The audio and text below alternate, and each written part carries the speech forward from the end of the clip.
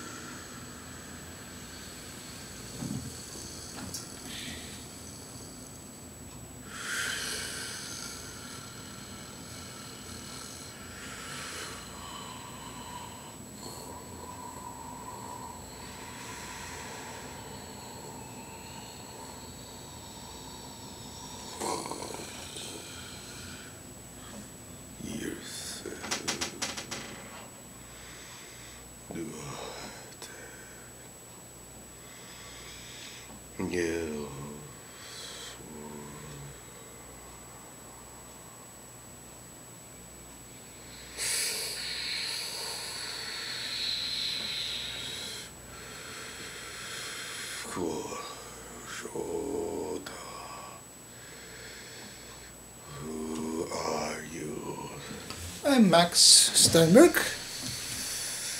a human from Earth, Solar System, Milky Way Galaxy. Yes. I know who you are now.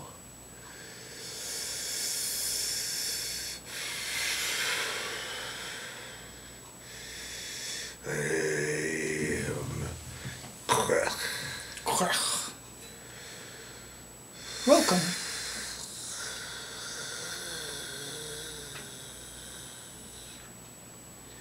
Thank you.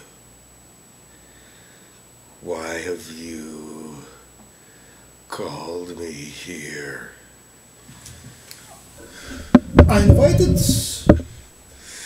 the civilization and cultures who would welcome human visitors. Is, are you responding to this invitation?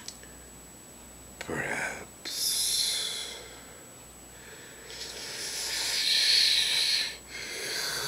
Human visitors would be welcome, Thank you. but I am not for this kind of transaction. So what's your specialty? Communications. Are you a reptilian? Yes. What race is it? None of. None of yours that you know. No, I, uh. Go ahead. Go.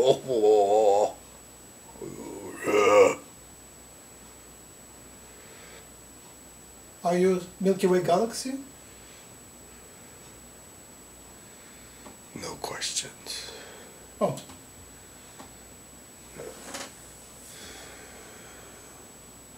One.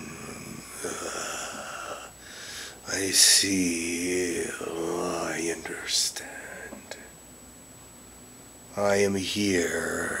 I have been told to awaken you of facts unknown.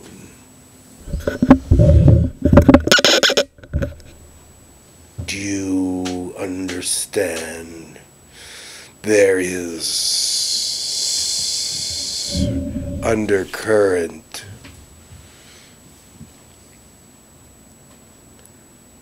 There are negative forces against you that are not seen by those trying to help you. We see these forces.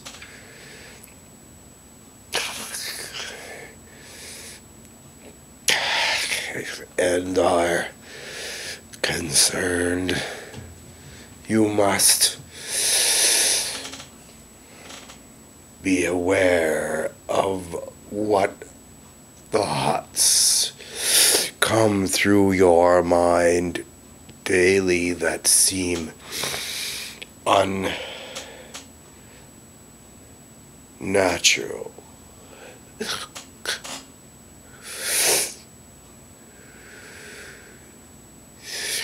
Oh, you, uh, these must be suppressed. for example. I know no example, for I cannot be in your mind. Like hunger? You know, I'm craving for sweets. Is it unnatural? It could be that because that would destroy the body eventually. Anything that could hurt the body can be suggested by them. Are these reptilians? They are. Uh, What technology do they use to send the thoughts? We are just aware of it now. That is why we're here. So, we do not understand this technology. so this is sent to the whole population to, or to specific individuals? This is to all population. Well, I can not stay. Thank you for this news. That's very important. And thank you for We wish. Only the best for your people.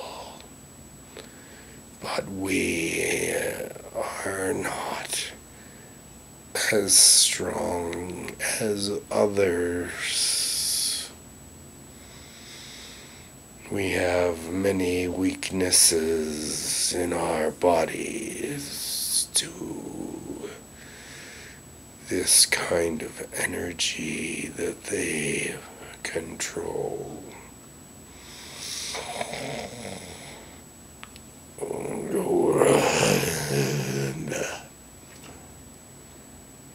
much appreciation and thank you. Be well. Be well.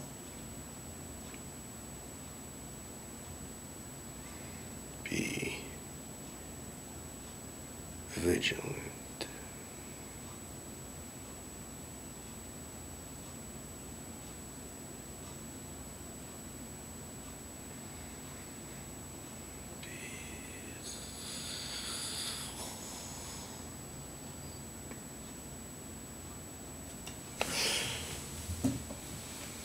Ooh. Hey, Jim. Hi.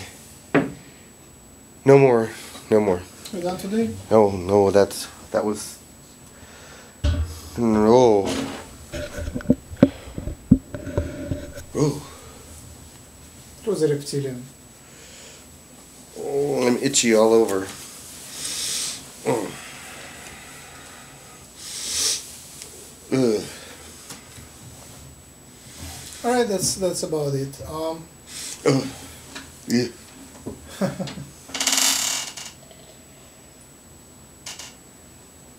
thank you. We have another session.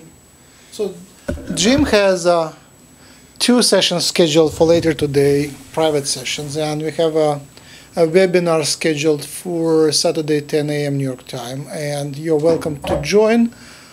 Uh, volunteer optional donation is ten dollars via PayPal, but if you don't have money, you don't have to pay. Um, uh, Skype or telephone. So if you give me your telephone number, I can add you to the conversation. Uh, your face will not be recorded. We'll have Jim, uh, Lisa, and I sitting here, and um, you'll hear your questions from uh, the speakers and and I'll answer the questions.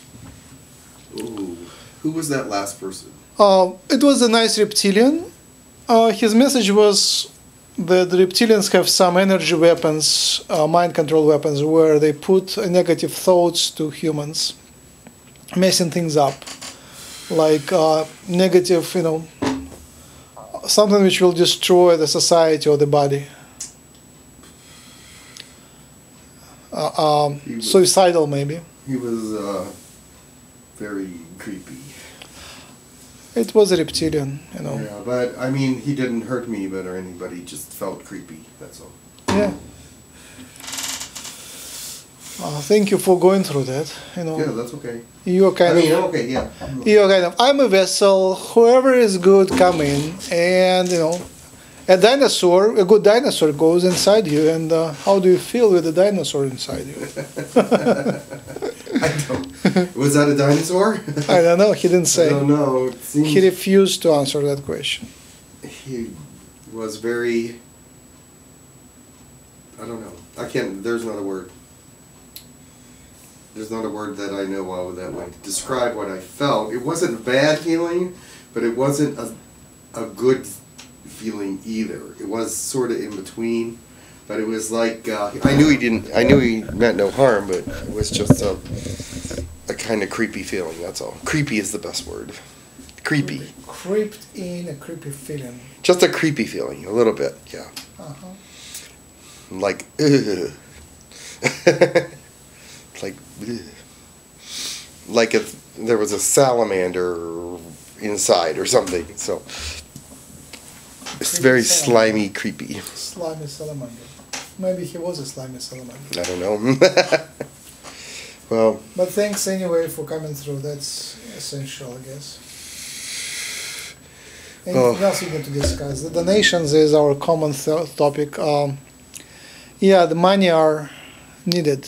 Um, uh, my uh, I have a brother in uh, in Moscow who is near death, and uh, he asked me for nine hundred dollars, and he often does it, and he al- always kind of asks to borrow but never returns. And you know, uh, I'm the oldest in the family now. All our you know parents are have died long time ago again because of Russia and poverty and uh, all that stress. You know, what America has now, Russia had in tons more in 90s. What's like 25 years ago?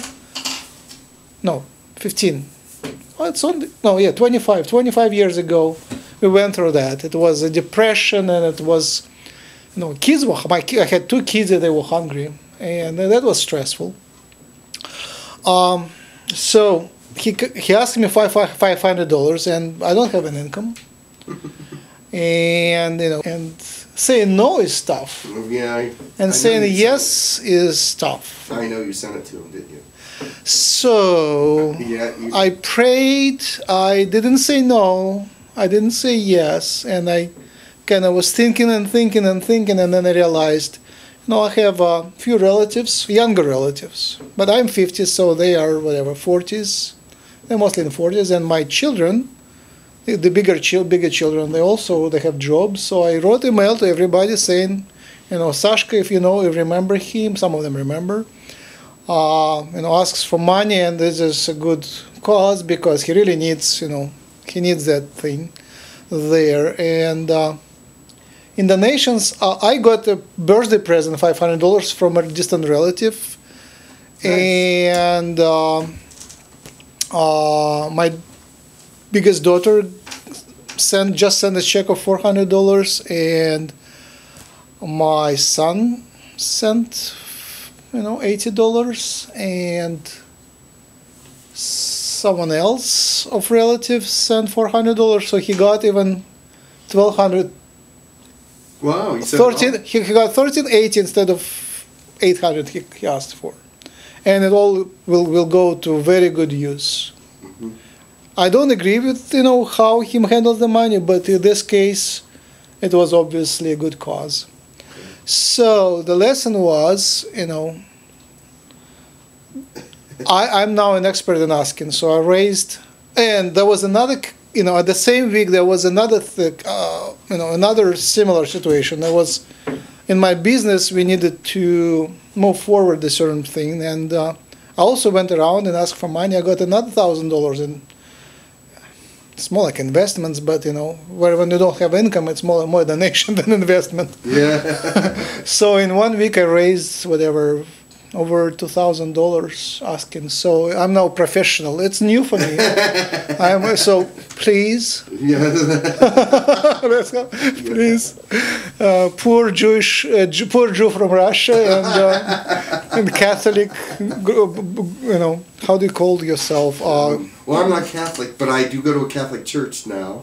what I- weren't you grow, raised as I a catholic? was uh, no, I was a Wesleyan, what's that a Wesleyan Methodist, Wesleyan Methodist, and I went to United Wesleyan College.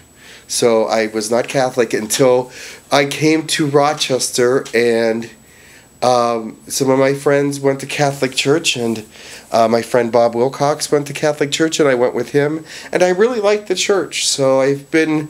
I don't belong to the church, but I am an outreach um, minister for the church to Dorothy Day House, which is for the homeless.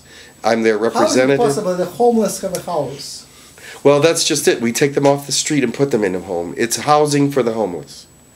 but they stop being homeless as soon Well- as they get in the house Yes, right. Exactly. But if they were homeless, we put them in a house. It's called housing first. Do they continue living there, or you kind of kick Well, at the? No, they continue living there until they're able to get their own place.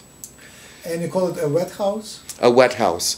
A wet house is when they're still drinking and using drugs and things of that nature. But they do after we get them their SSI, their uh, food, uh, uh, Social Security income, or DSS, which is Disability Social Security or whatever it's called. I only know the initials pretty much, but um, they get them on these uh, programs. Then they start taking rent from them, and start be uh, doing counseling on them so that they can become um part of the actual thinking and voting part of society. So. And so I take donations. Most of them are clothes. You've given many things. Yeah, and we, we just mentioned that to friends, and our friends bring some Yes. used stuff, and Right. some of that stuff is pretty good. And clothes. And the, the thing they need most is like toiletries, toilet paper, paper towels, the stuff that goes away fast, um, toothbrushes, and uh, Well, things. we're in- not asking you guys. Well, we're not asking for that. No, no, no. Because PayPal is best. yeah. Checks But- are good too. And if you have money and don't know how to transfer it, call us and we'll figure it out. But anyway, um, No, no, I a- didn't mean to get into that. that No, was, no, it's, it's connected. Yeah. Um, one, Jim br- broke his, his glasses. He was, you know, he was like, he was broke. He was broke, and uh, uh, I mentioned it on the site, and someone, Robbie, thank you, uh, um, pledged to pay for his glasses. That was nice. Thank you. So he didn't have a way to transfer the money. We found someone else in UK who was able to transfer the money, and it, it worked worked fine. And I got glasses. There's Where something else I wanted to mention. I forgot. I put was- them down now. Put them down over there. Oh But it- yeah, the kids. Um, so in Russia, tha- that's another story about being poor. Kids kind of grow with a sense of being poor, and that's a shame. You know, some kids grow up with a sense of being, you know, having whatever they wish to, even though they don't get it, but there is at least a self-perception of being well off. Yeah. Actually, I grew to five years with self self perception of being well off, and then kind of changed just to opposite. So my kids, all all four, which grew with me, grow with the sense that you know we are poor and we can afford it. Although Mike, with the same situation, he says, "I have tons of money." And he has a lot of change in his jar, but he feels that he is rich. Uh-huh. You know, paper he doesn't count. He didn't count until re- recently. He didn't, you know, care for paper. But you know, something that jingle is is tons of that. He has tons of that. So uh, the story is that I we go on the street and the lamp just goes off and on the big lamp post. And I ask my son, you know, what do you think about that? And he says, "You will fix it." And then I realize that they never get new stuff. We get always the used stuff which I fix. so if something elsewhere on the street is broken, you know, I'm gonna fix it, right? Yeah. you fixed my car. yeah. What's it? Uh, the the game hero like fix it, Mister Fix It or something? Yeah. Uh, I, fi- I I don't forgot know what his name is. Um, Uh, yesterday- my car. He put a Yeah. piece of tile on it. We the need to front. would- I had a big hole in the I will put it on pause. Walk with Jim outside, and I will video. I mean, that is a piece of art, and I will It teach you how to do that. You can really, you know, drive the cars thousand years longer if you if you use duct tape and you know and uh, vinyl. It is funny. That's funny. But it's a Um, beautiful. I mean, it doesn't rattle or anything. And yesterday I made a skateboard for my kid. Oh. We took a piece of board, attached four, you know, whatever Does it work? wheels. Of course not. I mean, it rolls, but you know, uh, he just you know, he doesn't have a sense that he doesn't have a skateboard anymore. He has it. Mhm. He can, you know, uh, on on Wii, on Nintendo Wii, you can uh, play tennis and you know do skateboard, and you believe you, you can do that, and then uh, and, and ski from the mountain, and then you. And take a real uh, tennis rack, uh, uh, pedal or racket and uh, try, and it doesn't work anymore. so it took for Michael took some time to figure out that uh, you know, tennis is not as easy, but he still loves it, and, Mhm. and now he is a skateboarder. and it doesn't work. um, eventually, but you know, at least there is some initiation. I mean, Okay. it just you know, it's not foreign anymore. It, you tried it. You know, you know it's difficult. It's possible. It rolls forward. You fall from it, but I, I had to hold him, you know, around the apartment I was That's rolling. funny. That's funny. So no, you don't have. You know, if you're in the same situation as we are, but if you have a job.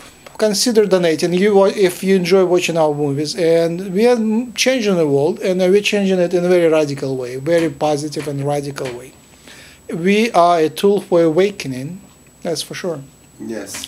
Some people awaken to certain truths because of us, and some people just find, uh, you know, uh, uh, it's a remedy for loneliness. You know, we are very lonely, especially the light workers. You go around and meet people who are not even deaf. They uh, hate what you say to them because it uh, shatters their wall. They want to keep their closed uh, mainstream view, and they're afraid for many reasons. They know it's it's not good to be with us. So, so now you go to our site and you speak to the people, and like like um, it's trivial for us. Now we are kind of I'm in it for many years in shamanism I for even for longer in Judaism and religious services. I'm from rabbi family. Uh, my genetic um, uh, the tree I know my uh, rabbi ancestry to 10th century in Spain. They went from Spain to Russia, and now we flew to America. I have me, my brother here, and a cousin. So, so it's a long path. And initially, it was from some around Iran and India and, and this this areas. What I'm saying is, I lost my train of thought. Yes, you derailed. Oh, uh, I uh, when I go to the store or to the church, I feel uncomfortable being on the side of the people who co- the comer church comers. Mm-hmm. I feel much more comfortable on other side, behind the counter or behind the. And now, now I'm on that side. I'm near Jim here. I'm kind of in between. Like uh, Yeah. I'm a listener and questions, and also I'm kind of doing the service. Now my my wish, my dear wish, is to become a channel. I really want. Why do I have to? Why can? You know, it's really hard to find Jim's time and Zachariah's time and ask other people to channel. Why can I channel? I want to sit near Jim and while Lakesh is saying on the other side, and I'll say, "Hello, I am whoever, whatever. I'm a reptilian or whoever comes through, and I will be channeling as well." But then the Wouldn't question: fun? Yeah. Who would be asking questions? Lisa. We'll write them down. Yeah, I can. I can write my questions to Lisa, and she will ask me, and I will answer my own questions. Where They might ask each other questions. Who knows? Yeah, or the aliens can, you know, uh, Buddha know. can speak to Jesus and say, "Hey, Jesus, how are you?" And Jesus will say, um, "Long time no see." Yeah, yeah, really. well, I don't know. That doesn't sound like a typical conversation between them. me. I don't know. They, how would they? They don't converse in words. I, I, I don't know if they do or not. I don't know. We should ask that. Uh, neither one, neither Jesus nor Buddha were, are open to discussion. Muhammad was, so we can ask Muhammad. Okay. Uh, But uh, I think Jesus and Buddha were in so high vibration. So, and my questions are kind of still high, but not not as high vibration. So when I spoke to an angel, he had to kind of kneel down to me and. You know, I asked him like, "Do you have breasts?" or things of that sort. And for an angel, it's kind of yeah, they, they can answer that, but it's not their main uh, vibration to do that. Right. Exactly. Do they have breasts? Did you ask that question? Um, I don't mean, remember. Similar, but I don't know the answer to that. Oh, okay. I, I think they uh, they're humanoid, but and they are born and live a certain time, and they actually die. Okay. And uh, and when they're born, they're made. Actually, uh, he said, you know, we don't multiply; we are we're being made. So they're manufactured outside of our reality, and they're messengers of God, hmm benevolent messengers of God. Okay. Um, but also, they can appear in the way they wish. So if they Mhm. wish to appear female, they could. Mhm. Uh, and somebody told me, I don't remember who, that angels, they have all these body parts, but they don't have a use for them because their purpose is different. hmm So they're more like made for show, you know, when they're made for to appear to humans to appear godly, but also human-like. I remember somewhere in the Old Testament where they said angels came down and mated with humans, fallen angels. So they are able to do that, but I guess they don't do that in the angelic sphere. I don't know. That's a question I would. Again, they- again, is it real? Maybe. Uh, You know. Is it well? Yeah. Was that a real story? Is a question. Yes, yeah. Was um, it that angels mated with people? I don't know. I would ask them, but I, I don't know if it's a relevant story. Yeah. I would more inter- be more interested in current affairs Uh-huh. and a little less interested in something obscure uh, from right. ancient times. All right. Uh, current affairs are becoming more. Uh, last last news was from Zechariah last night. Um, so Pleiadians, uh, the, the queen. I spoke. I spoke to a queen, Aurea, and she, by the way, she mentioned that you know I propose for human volunteers to uh, to volunteer our genetic material for hybridization program to create hybrid children here and up there. And she mentioned that one of the main reasons for hybridization program by the Greys is to take over the world, as suspected. So the Greys kind of inject their DNA into humans, place them on Earth, and and Lisa is one of those. And when the Greys come, they can control the hybrids and kind of this this would be their whatever Mhm. agents, agents, uh, mind controlled. Mhm. So if you see someone seemingly mind controlled, what do you do? Say, I know you're an agent of the Greys, Zeta Greys. The Like, Zeta Grays, Yeah, a couple days ago, in the middle of the night, I was awake and it was deafening zzz sound of the Grey. I, I assume from the Greys, as they Yeah, said. mhm. Tucker said that, that this high pitch, pretty constant sound. It was very loud. I woke up and said, "Hey, Grace, what do you do here? What's the, what's up?"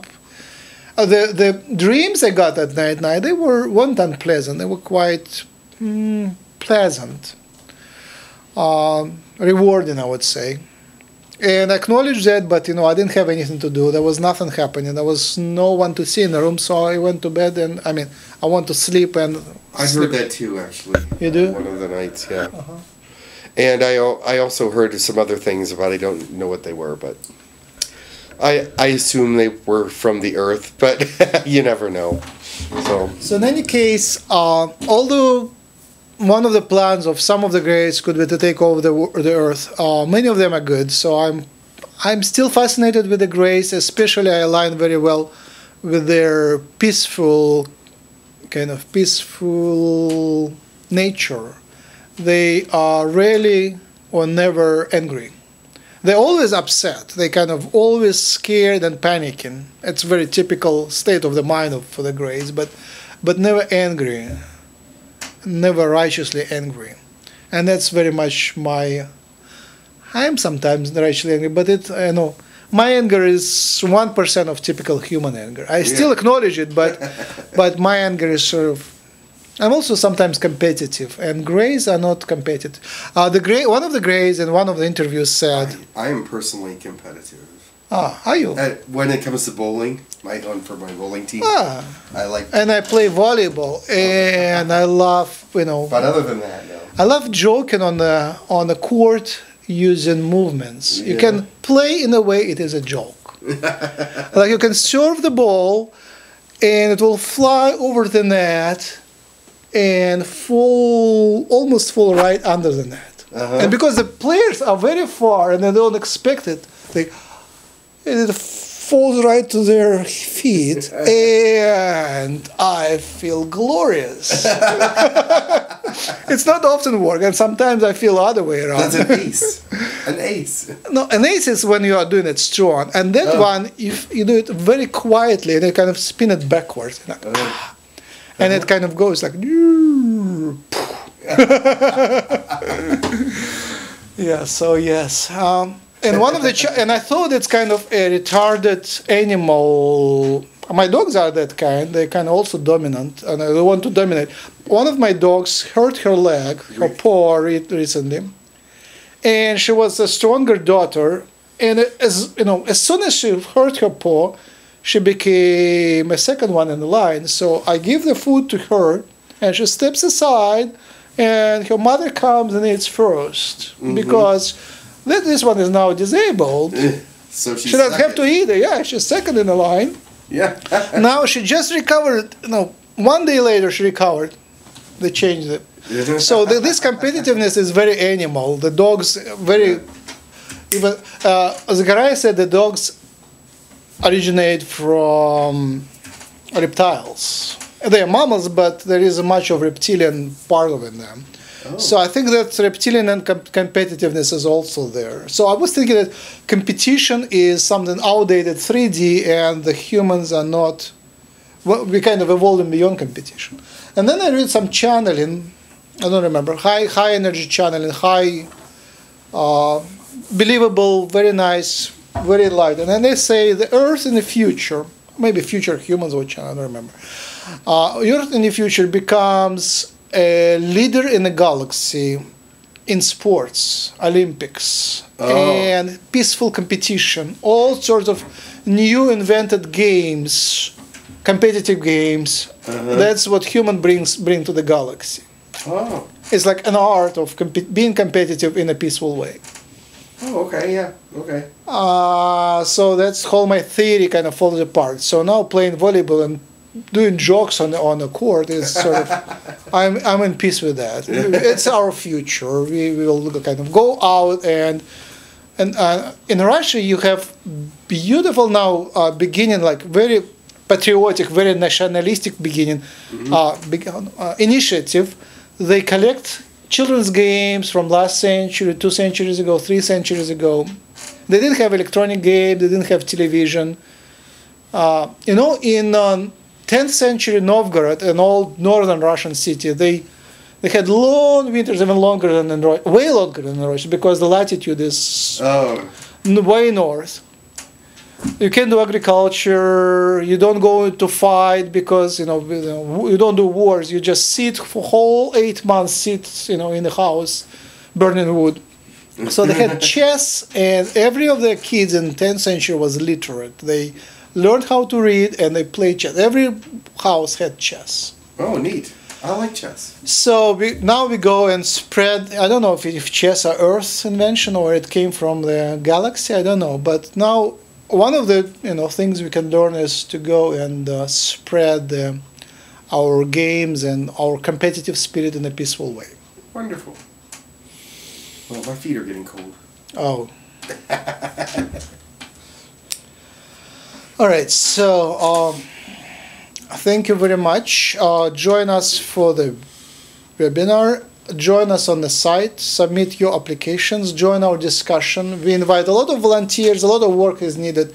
Now I I'm swamped. Now I channel Zachariah, and it's incredible. Cha- channel, not channel. Record Zachariah. Record uh, Jim, and just digesting that information. I don't even have time to record, you know, to type in this poetry. We assembled the book of poetry, but there is a lot of facts which need to be combined together. And now there is so video makers. It's very easy these days. You just cut it from here, cut it from there, combine together. Let's put side by side whatever Zachariah says with what Jim said, and maybe you can pull out what Bashar said and what Adronis. Uh, there is a nice channeler, um, reptilian hybrid, a benevolent. reptilian- If you Google uh, benevolent reptilian hybrid, I also like Distani, uh, so, S- Sonet, Sonet, Sunet from Distani. She is a great channel, and there is plenty of other great channelers. If you put side by side what they say on a specific topic, there is a great movie documentary. It's called Tuned In Spirit Channelers in America. It's about 10 years old and it's full length on YouTube, so you can watch it there.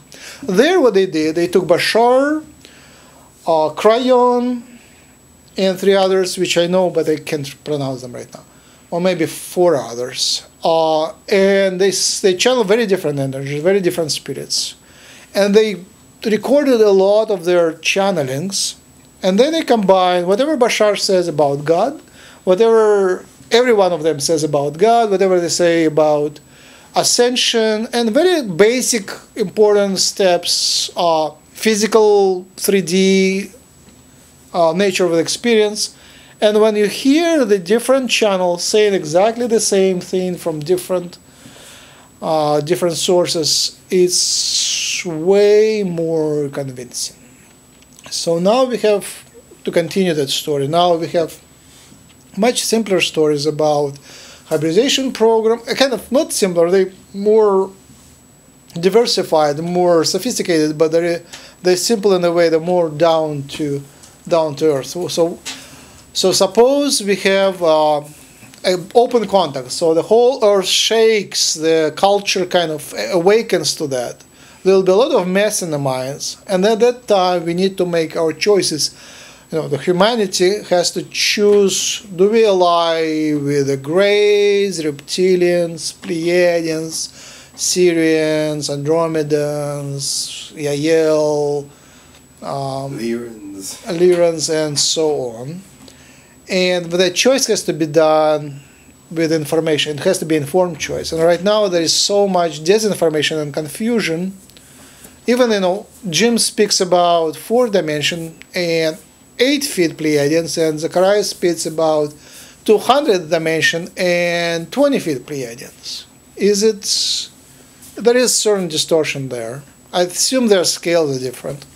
The information is the same, but translation into human scale is different. Uh, I analyze it in some of my talks that you know this system numbering system uses this number of dimensions, this system uses this number of dimensions, and dimension 9, and this system corresponds to dimension 5, and blah, blah, blah. But there are some reference points, and one of them is I'm asking, in, in your reference system, in which dimension do the uh, discarnate human spirits reside? So when we die, to which dimension do we go? In Jim's system, it is number 7, and it's not Jim, it's Disdu, Lakesh, Takar, Tepe, uh, and several others. They all kind of use the same uh, numbering system. So, so that's sort of kind of home homework, and it's you know analysis and comparison and building everything in a system. So, so my first book is about that. I, I at that time, many years ago, like three and four years ago, I wrote a textbook where I put that in a system and I sort of collected information from different channelers and wrote a text. It's a condensed textbook. Now we need a, a new edition, and I, I'm inviting you guys to help. And this way, uh, if there will be enough volunteers, we probably could create sort of a Wikipedia. There are ways to do it collectively on the, on the website, and I would be happy to discuss how to do that and bring more help uh, and structure it in a way it's creative. Unfortunately, I have to really go and find find the money to, to continue my work. I, I'm broke. Um, I have money for about maybe three, four weeks, and after that, after that, I'm uh, by that time I have to like go and ask for money, and uh, obviously I can ask for money. Asking money for that project doesn't doesn't work so far. I'm uh, I'm getting about one thirtieth of what I really need to feed the kids and you know pay the rent Mm-hmm. Uh, or mortgage actually mortgage. Uh, and it's you know the Rochester is the cheapest place one of the cheapest places to live in the United States. But still still we need to do that. So I'm I'm actually already started calling people old friends and uh, asking so I'm doing a, a mainstream project. Uh, as mains as as enlightened as the mainstream can can come. I'm developing a therapy for arthritis using combination of gene therapy and laser therapy. For light workers, it sounds like completely alien technologies. For for mainstream scientists, it sounds less uh, alien. They realize that gene therapy is a real thing already. We already have genetically modified plants. We already have genetically modified humans in mainstream, meaning that clinical trials already running like there's about 200 clinical trials for gene therapy. Many people have been cured for really bad diseases. People start to see some leukemia have been treated some brain damage has been treated. Uh, it's very simplistic. It's not alien technology but you we use um viruses kind of decapacitated viruses inactive uh, good viruses to deliver dna into the body and add some healthy genes to the body to treat certain disorders. So gene therapy is, is sort of there, and laser therapy is sort of there. If you fly on the airplane, look at your booklet, you always will find couple advertisements about using light therapy, laser, or LED array therapy for uh, uh, baldness, to, to increase hair growth, and for obesity, and and actually for smoking cessation. Those three applications they actually work, and uh, I have a project where you can combine the two and really control the genes, trans genes, the DNA with light, with laser light. So I'm raising money for that project. It's tough because it's it's uh, our main slogan in the company is say no to drugs and say yes to light. And uh, basically, we are proposing to replace the pharmaceuticals with lasers. It's possible already now in mainstream science, but you know we need money to do the experiments, and so far we get little help, but not enough. We need, uh, and this is sort of expensive. It's um, we need about hundred thousand we need, the burn burn rate will be about five thousand a month, which is normal, right? It's normal for uh, for a couple people working, even for, for one person working. But you know, light workers are so deprived of any resources. So even that number sounds incredibly high for many. So I'm going now and uh, talking to investors, I guess. Investors, yes. It's and they're greedy and they are adverse. Is it adverse? Averse, avert to risks. Yeah, What's adverse to risks. Adverse. Adverse is a good way to say it. yeah. to risks. So that is a little risky for them. They understand that we have a chance to win, but also we have a chance to fail. So for them, it's it's questionable. So so that's what I'm doing right now. And uh, if anybody there in the YouTube, if you are into one of those areas, I would be happy to talk to you more and uh, share what uh, you know. It's a real real plan, and I already have done lots of experiments in it you, I was working in the companies uh, in Rochester where we did tons of experiments. We did uh, an experiment with 55 rabbits. It's a huge experiment, and tons of cell culture experiments where we did laser activated gene therapy. It's it's a mainstream real. I have publications on that, so I would be happy to discuss that. And um, obviously, next step will be transdimensional therapy, but it's and it can be done in mainstream controlled fashion basically. This is a control this is a treatment and you do it on model organisms like cell culture and, and stuff of that sort. So it's coming to reality and even if the crisis happens even after that the that is the future of the medicine. The medicine will not go anywhere. Uh, it will be there even in a new shape in a new humanity we'll still have medicine it wouldn't be only shamanism it wouldn't be only reiki healing there will be Pleiadian culture uses drugs, and Yahyel culture and Pleiadian culture uses laser-like technologies. So, so it is a future. That's where we are moving, and I'm inviting collaborators and people to think together. Today, I have been to a webinar, uh, seminar, real life seminar, which is unusual. Mhm. I wear the tie, wore a tie, and uh, asked important questions, and I felt like I'm uh, one of this mainstream community about genomics genomics develops really well. So we can sequence not only DNA, which is trivial now, we can sequence RNA and see what's happening there. And there is a lot of things happening. Uh, how to tie it to extraterrestrials? They clone hybrids. They can cure cancer. They treated uh, one of my friends. I need to repeat that story in few words. Uh, he was scheduled for a visit on a ship. It was before my project but he was promised a visit on a ship for a tour and when it took him they discovered he has a lung cancer he is a chain smoker and uh, instead of um, giving him a tour they put him on uh, on a table and operated meanwhile they asked you know we have already a tour scheduled can you uh, suggest any other light worker who can go and uh, he suggested some uh, friend and uh, they took her and she had a tour and she saw him on the table Mhm. so he was sure it was for real, but uh, he was cured of cancer. Uh, he, when he came, he felt very weird for a few days until the operation results were cleared. He had to go to the hospital right away to be treated because had after after effect of the operation. So they can put him on certain treatment there, like infusion and stuff of that sort. So that's for real. They can treat cancer. Uh, they treated another person I know uh, treated fully broken knee into a completely healthy leg, which human medicine mainstream cannot do. And there is a whole book of uh, extraterrestrial medicine by Adrian Dvir, a X3 extraterrestrial medicine, an amazing book. It's real. I spoke to his uh, associate, and actually she introduced me to this dude. So, so I invited them, and this dude came in response to my invitation. He came to where? Uh, this dude Yeah. through you. Oh, okay. Yeah, where I did he you come? somebody else. Uh, no, I say, oh, this dude's with somebody else. Uh, I don't know if she knows this dude, but uh, she, when when I spoke to her, I said I want to be a healer like Adrian Dvir, and she asked them, and they said, Max, you're not a healer.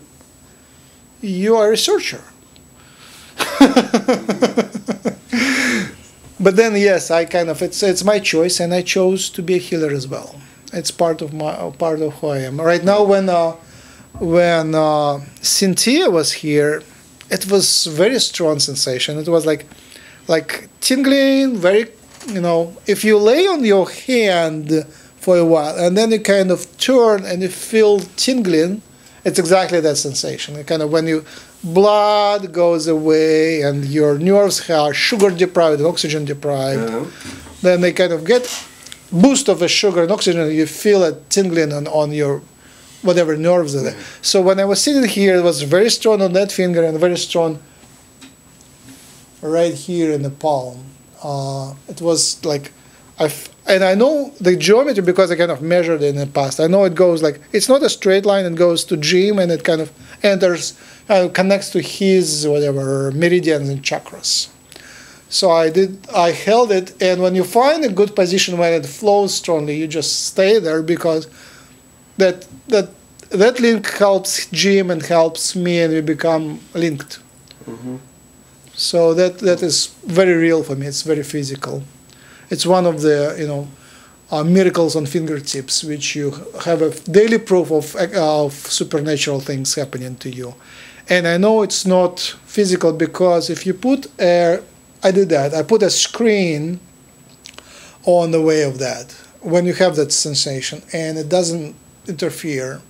And if it was electromagnetic, it would strongly inter- interfere with the flow. And at some point, I was in the lake and I felt, and I was meditating, I felt very strong. And I kind of moved the hands down under the water. And the sensation didn't go away. And I know if it was electromagnetic, if it was electron beam or electromagnetic beam or electric uh, field, it would be strongly distorted by water. And it wasn't. And uh, of course, it could be imagined by me, right? I could imagine have a sensation which was imagined by me. But very often, we when we do group Reiki, we have many people feel the same thing at the same time, almost simultaneously. Once I did Reiki on someone, and I did first I did sort of interview with him, just asking you know what's wrong, blah blah blah, and then, then I realized when I was treating him that he has sort of broken heart, more like hardened heart. He his family upbringing was the one where his uh, compassion was. Uh, Squelched. yeah, that's a good word. I don't know what it means, but it's, that's exactly what it was. So I was uh, treating him, sending energy to his heart to heal it. And he was laying with uh, uh, closed eyes. And then first thing when, it, when, he, when he came back after Reiki treatment, he said, uh, two purple lines came together and drew a purple heart. Very nice. Yeah. So these miracles happen. Uh, it's nice, you know. I never saw a UFO in real life. I saw it on YouTube, and I do research, and crop circles and UFOs are very convincing. But you know, I have some proofs every day. And this poetry, uh, Jim, do you write poetry? I used to be in a rock band. We used to write rock and roll stuff. Oh, so you're good at improvisation then. Yeah. well, usually it takes a little while to write a poem. Yeah, I, I improvise, but this time it's uh, not me. It's Jim improvising a lot of stuff. But I do, I do. Uh, but the the thing is, if you ask my writing partner, all my lyrics are channeled from his future. Ah. So he knows that that I am real because all the lyrics that I wrote for the band are coming true for him little by little. Every song means Ah, near something. future. Yes, so even now, 20 years later, some of the songs he just gets because it's now happening in his life. It's like Nostradamus. Yes. Uh, what he was doing, he was meditating with certain tools like triangle and something else in 'Cause- his um, attic, and he was writing poetry. And so he said a lot of the poetry that uh, I wrote back then, I channeled for his life. Because we were together in the same room writing. It was me and one other person that did the writing. And sometimes he wrote lyrics, sometimes I did, sometimes he wrote music. And we both did everything, but I wrote more mu- lyrics than he did. And he wrote more music than I did. So, uh, but my lyrics always seem to be. He said, "Oh, I've always known you're psychic. Always." He's and when I told him that I was channeling and stuff, he was going, "I have no doubt." He goes, thank. He goes, congratulations that you discovered it. So and everything, and he he was like, he's married and um, lives in Syracuse, and he was like, no doubt, you are. He said, I always knew you were psychic. So.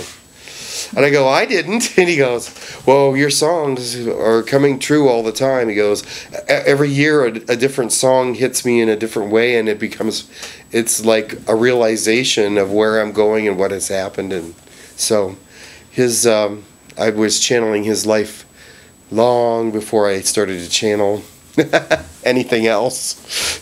So, so yeah, his name is Derek, and he's he's an, a genius actually in music. He's a he can play guitar and keyboards and drums and Did you try to channel anyone while you played piano? no, I never tried Jim that. plays piano really well.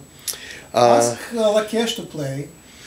I taught myself how to play piano. I don't read music really, so Oh, you don't? no.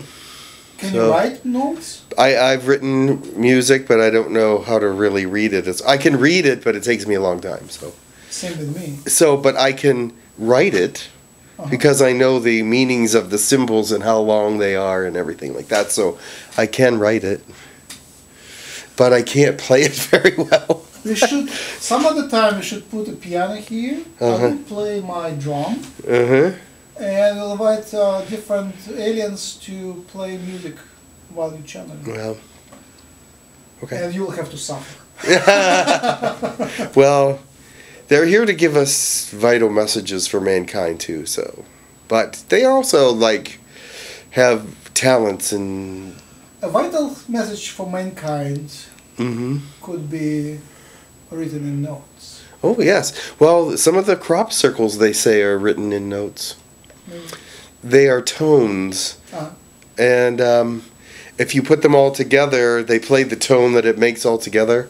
It it was dis- distorted tones, but it they can put a tone to different symbols in the crop circles. So Yeah, they, they're very harmonic. so vibration is at work there as well. they're So very harmonic, yes. yes.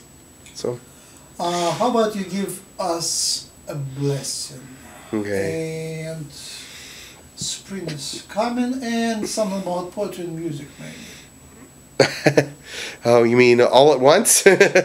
Spring poetry and music come together very well. Okay, but I to give you a blessing, I would I could just I I just whatever comes out of my head. Pull out if you had something good. Uh, for just a blessing for the people. Okay. Let me meditate for a couple minutes right. and see where which way God wants me to go with this.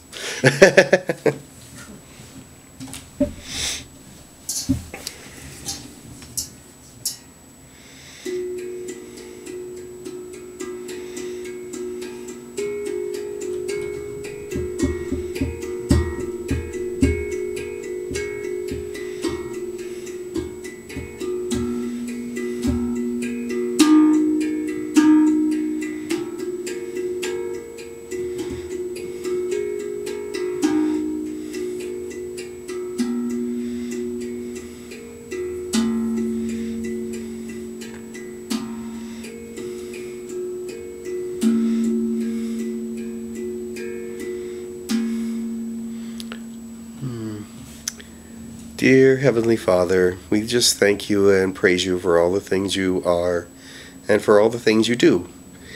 And we know that your will is the the great will. And we know that you are a very energetic God. So we thank you for the winter, but now it's time for the spring. We just ask that you bring that soon because we're cold and we need the sunshine. So we also ask you to touch everybody out there and give them a blessing of their own. Bring them joy and light and love. And um, let them know that they're being watched over. Let them know that the warmth is coming, the goodness is coming, the connections are coming. So we ask that you uh, help them and help us as well. We just want to be connected to you and what is true and right and integrity and love and honor. And we praise you and thank you. Amen. Amen. How was that? Okay?